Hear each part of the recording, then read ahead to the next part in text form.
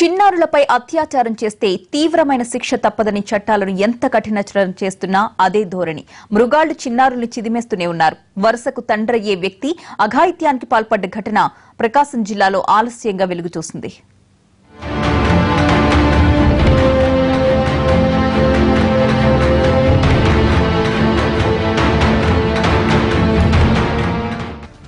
ప్రకాశం జిల్లా వేటపాలెం మండలం కొత్తరోసే కాలనీ.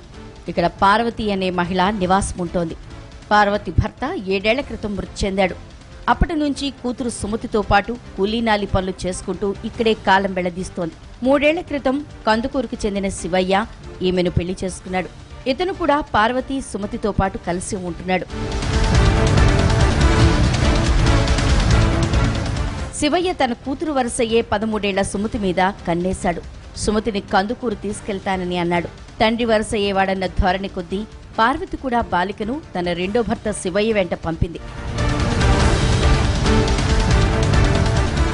ఎప్పటి నుంచో సుమతి పట్ల నీచబుద్ధి కలిగిన శివయ్య దొరికిందే తడువుగా ఆమెపై అఘాయిత్యానికి పాల్పడ్డాడు.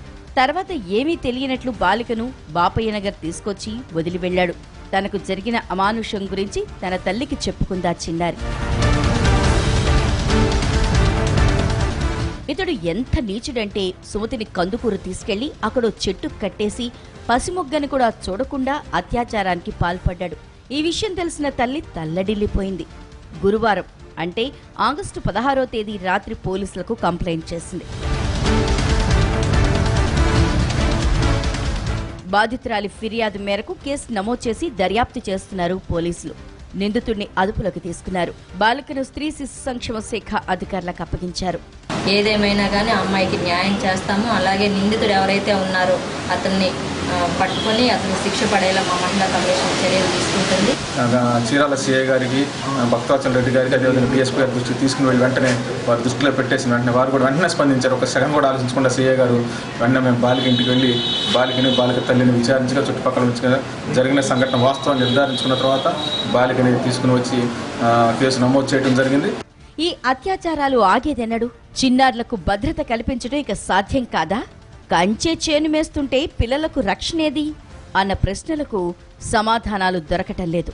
వచ్చిన రిపోర్ట్ మేరకు ఎఫ్ఐఆర్ రిజిస్టర్ చేయడం దీంట్లో కిడ్నాప్ రేపు మరియు పోక్సో చట్టం ద్వారా ఎఫ్ఐఆర్ రిజిస్టర్ చేసి ఇన్వెస్టిగేషన్ దర్యాప్తు స్టార్ట్ చేశాం.